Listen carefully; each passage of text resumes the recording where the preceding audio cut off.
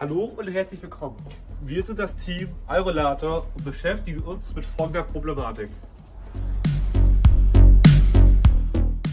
Treppen wie diese sind für die meisten von uns kein Problem.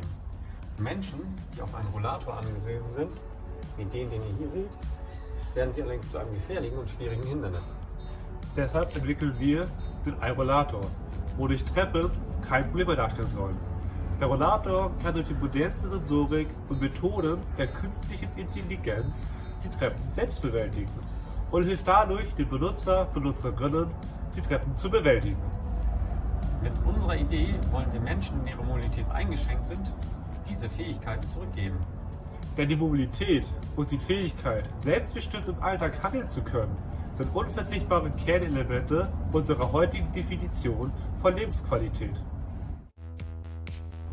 Wir befinden uns zurzeit in der Entwicklungsphase unseres Digital Twins. Das heißt, in der Simulation kann unser Rollator bereits Treppen steigen. Mit eurer Stimme könnt ihr uns jetzt helfen, die Prototypen aus dem Simulator Realität werden zu lassen, um anderen Menschen unter den Arm greifen zu können. Wir sind übrigens Dominik und Janis und wir bedanken uns für eure Aufmerksamkeit.